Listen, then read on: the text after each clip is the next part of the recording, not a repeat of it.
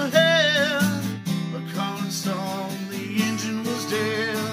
I couldn't stop, so I swerved the right. I'll never forget the sound that night, the screaming tires, the busting glass, the painful scream that I heard last. Oh, where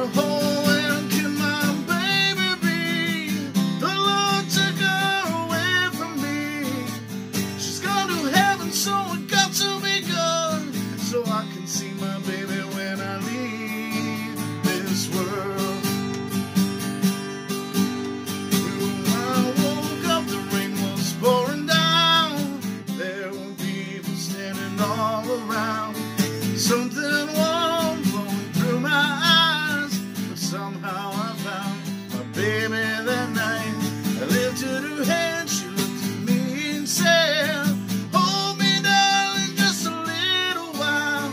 held